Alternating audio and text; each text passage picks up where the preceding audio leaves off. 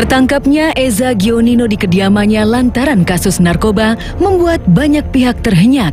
Narkoba rupanya belum benar-benar menyingkir dari kehidupan para pesohor.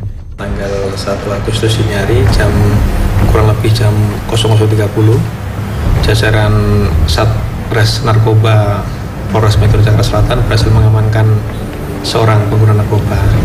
TKP-nya di uh, perum, perumahan Cibubur Country dengan tersangka inisial EG, umur 28 tahun. Dari tersangka ini, petugas berhasil mengamankan uh, barang bukti berupa paket sabu seberat 0,16 gram beserta lensapnya dan juga beberapa korek api ya.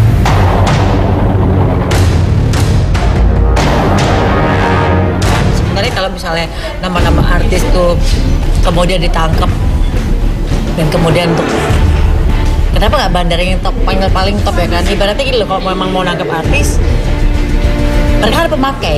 Mereka adalah korban ya kan? Mereka korban dari bandar ini. Harusnya yang ditangkap ya bandarnya aja dong jangan artis. Kalau artisnya kan korban. Kecuali kalau artisnya bandarnya ya beda lagi ceritanya gitu ya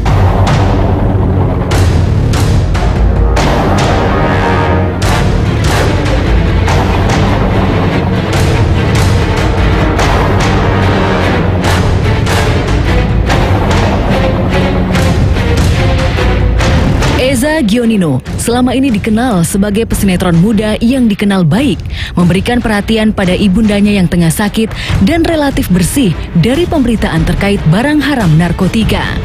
Kalaupun terdapat pemberitaan miring tentang Eza, hal itu terkait konfliknya dengan Ardina Rasti yang mengharuskan Eza menginap beberapa bulan di Hotel Prodeo tahun 2013 silam. Pedangdut Cita Citata yang sempat dikabarkan memiliki hubungan spesial dengan Eza bahkan mengaku belajar akting dari Eza. Sayang, kasus narkoba yang menjerat Eza memupus citra bersih Eza. Uh, nyokap gue lagi sakit kan? Nyokap gue lagi sakit ya. Sekarang mungkin alhamdulillah udah udah mendingan. Cuma dibilang sembuh total belum. Jadi gue lebih fokus ke nyokap. Aku nganggap Eja tuh temen gitu. Dan memang uh, dia adalah sosok uh, apa pemain sosok adalah aktor yang benar-benar ya udah profesionalitas gitu loh. Jadi kita juga banyak belajar acting dari dia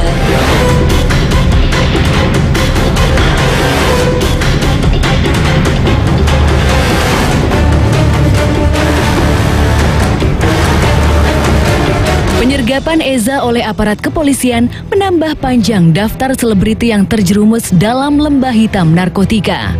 Jauh sebelum Eza, di awal tahun 2014, pesinetron berwajah oriental Roger Danuarta ditemukan dalam kondisi mengenaskan di dalam kendaraan pribadinya lantaran overdosis barang haram narkotika.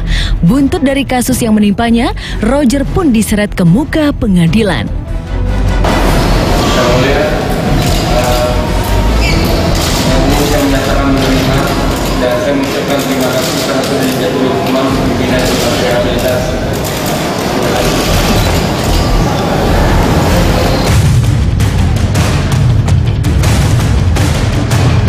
Selain Roger Danuarta, pesohor lain yang tersangkut kasus narkoba dan harus menjalani masa hukuman adalah gitaris grup musik Geisha, Robi Satria, yang tertangkap pada akhir tahun 2013 silam.